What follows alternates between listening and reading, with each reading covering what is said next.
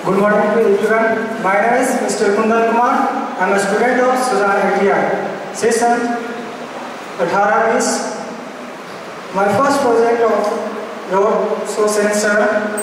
मैंने इस प्रोजेक्ट को वन स्किल डे के शुभ अवसर पर मैंने इसे बनाकर लाया सबसे पहले हम इस प्रोजेक्ट के बारे में आपको बताना चाहता हूँ कि इससे फ़ायदा हमें क्या है और लाभ क्या है फ़र्स्ट ऑफ़ ऑल इससे हमें फ़ायदा है कि अगर जो आप देखते होंगे कि रोड पे दिन में ही बल्ब जलते रहता है। इससे हमें बिजली का खपत ज़्यादा होता है, जिससे हमें पूरे देश को नुकसान होना पड़ता है। इससे हम, इससे जागरूकता करना चाहते हैं कि हमें बिजली की खपत की बचाव करना सबसे पहले मैंने इसको तैयार किया, सेंसर और एल डी सेंसर होता एल डी आर सेंसर है जो लाइट पड़ने पर वह रेसिस्टेंस का काम करता है। और जैसे उसके प्रकाश विलुप्त हो रहा था मतलब खत्म हो रहा है वह कंडक्टर ही काम करता है, जिससे हमें रात में बल्ब जल जाता है। इससे हमें फ़ायदा है कि दिन में बल्ब देखिए पूरा का पूरा बुझ जाएगा और रात में हमें जो कार्य है, वो स्टार्ट हो जाता है, जिससे हमें फ़ायदा होता है, हमें कुछ नुकसान ही नहीं पड़ता है और कम ही लागत में से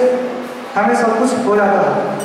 सबसे पहले इसका निर्माण मैंने किया एल सेंसर लगाया है और इसे इसे दो बैटरी से जोड़ा है, जो एक बैटरी नौ वोल्ट का है, दूसरा नौ ये दोनों, वो दोनों को लगाने के बाद सीरीज़ में लगाया है, जो अठारह वोल्ट हो जाता है। इसे सप्लाई देने के बाद मैंने हर एक बल्ब को पैडल लगाया है। सीरीज़ में इसलिए नहीं लगाया क्योंकि सीरीज़ में अगर जोड़ते तो पूरा का पूरा अगर एक बल्ब ब्रेक करता तो पूरा मेरा सर्किट ओपन होता, जिससे कारण हमें बल्ब बुझ जाता। इसलिए सभी बल्ब को मैंने पैरल में लगाया है, जिससे हमें कोई भी बल्ब, अगर बल्ब अगर ब्रेक किसी प्रकार की दिक्कत होती है, अगर नहीं जलती है तो अगले बल्ब को वो कोई नुकसान नहीं पड़ता है जिससे हम अगर ख़राब होने के बाद उसे बना सकते हैं और कोई बल्ब नहीं बुझेगा हमारे रोड पर जो प्रकाश रहेगा, वो प्रकाश डालते रहेगा। हमें इससे यह फ़ायदा होता है कि हमें किसी प्रकार की दिक्कत या रोड पर किसी प्रकार की दुर्घटना नहीं होती जय सब थैंक यू।